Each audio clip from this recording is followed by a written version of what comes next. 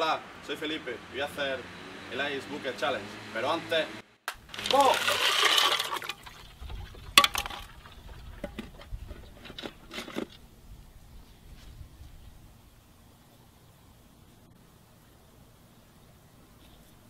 This is the ALS Ice Bucket Challenge. I nominate Ellen DeGeneres. You've been nominated a few times. You should do it, girl. It's for a good cause. I also nominate Miley Cyrus.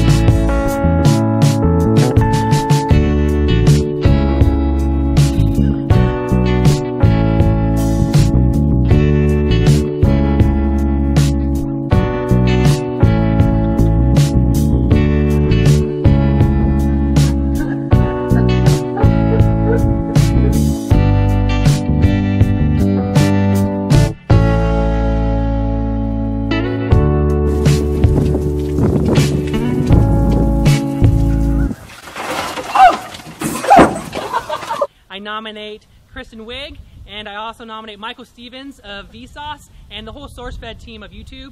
You know, you have 24 hours to either do the ALS Ice Bucket Challenge or donate $100 to ALS TDI. You can find them at als.net. They're absolute best organization to help find a cure for ALS. Let's do this.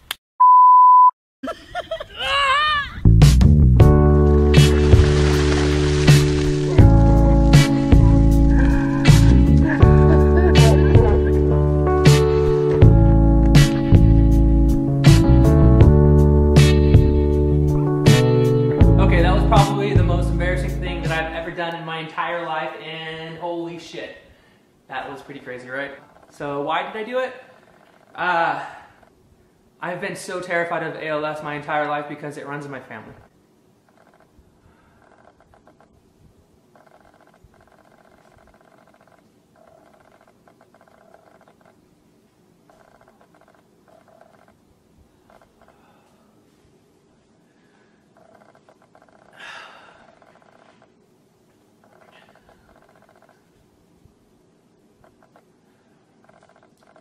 ALS runs in my family. My, my, my grandmother had it. She was a second mother to me. My mother was diagnosed when I was in high school. And uh, five months ago, I was diagnosed at 26 years old. ALS is so, so fucking scary. You have no idea.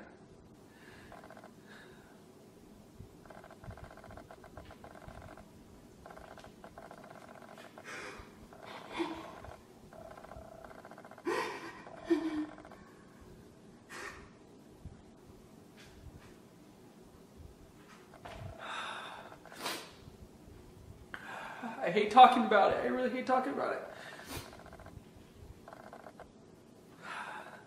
And that's probably why nobody talks about it, is because it's so challenging to watch. It's so challenging to see and to talk about. Nobody wants to see a depressing person that's dying that has two to five years to live. They don't want to talk about it. They don't want their day ruined.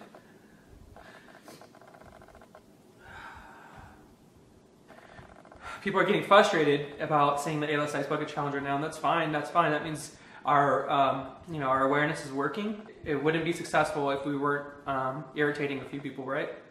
Uh, I promise your news feed will go back to cat videos and let it go covers.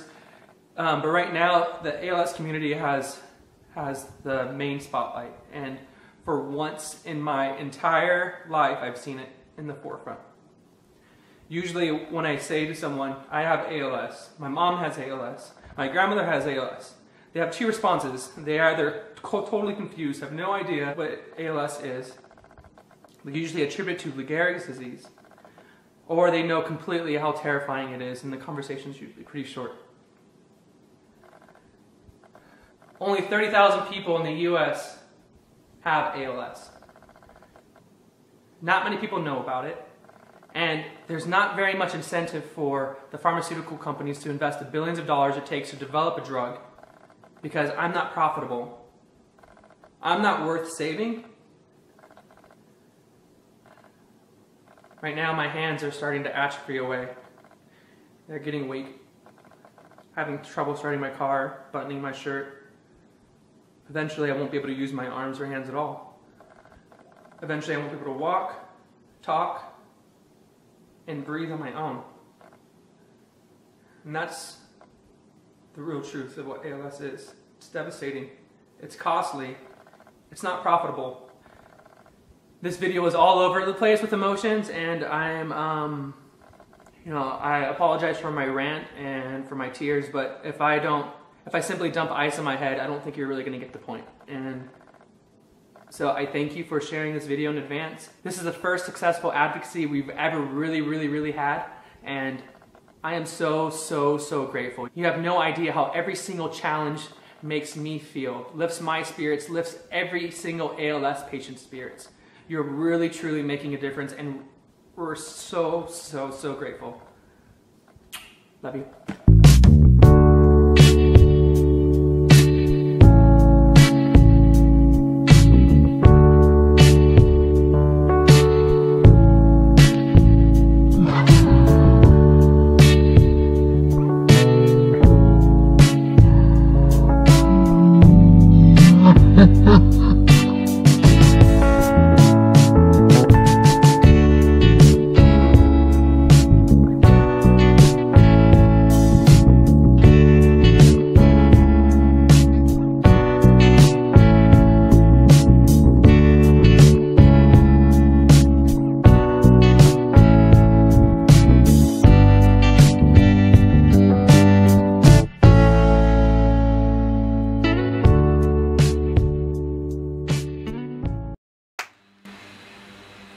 Vamos a ir.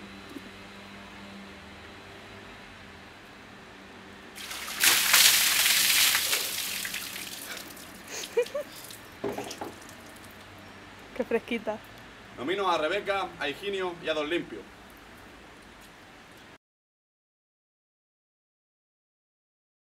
Es que no soy tan tonto de hacerlo en mi propia casa vestido.